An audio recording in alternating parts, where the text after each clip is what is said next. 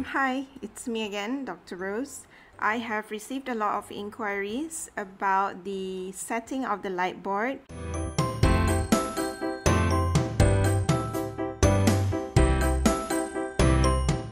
I don't. I have a simple solution for you. It doesn't require editing after you shot the video, so you can do it live without people having to see your writing backwards. I use Snap Camera. It is a Snapchat camera for desktop that has filters as you would see on Snapchat. Now you can download it, it's free, and install it on your desktop. I'm not going to show you that. This is what Snap Camera looks like. It has got all of the filters, just like, uh, you know, Snapchat. For example, if I choose the baby filter, there I'm a baby right now. Ooh, hello, mommy. Okay. And what we're going to do is we're going to search lenses and we're going to search for flip. Okay. So when we search for flip, there's a lot of flips right there. And this is what I use, selfie flip. If you can see, there's a star already because I've started as my favorite. Click on the star, it will be your favorite.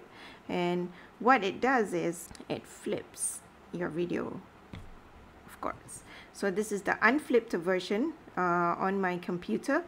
Now this is the flipped. We are going to use this, I've already set it to flip, right? In uh, using my light board. So this is the unflipped view, okay? and for example if I write hello okay what you see right now is not inverted because I'm recording on my screen but if someone were to sit on the other end they would see it as inverted. Okay?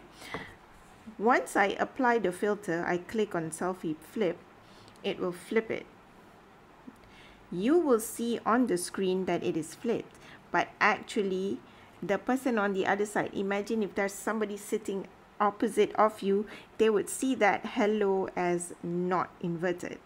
Okay now let me show you how it looks like in your video conference application this is zoom okay what you want to do is under your video settings you want to choose snap camera okay choose snap camera and the person on the other end would see it not inverted because you have applied the selfie flip filter. Now this is Google Meet. On Google Meet, okay, I've put two screens side by side so that you can see the difference. On the left hand side over here, this is my view as the teacher. My view on Google Meet as the teacher. I see my handwriting as flipped.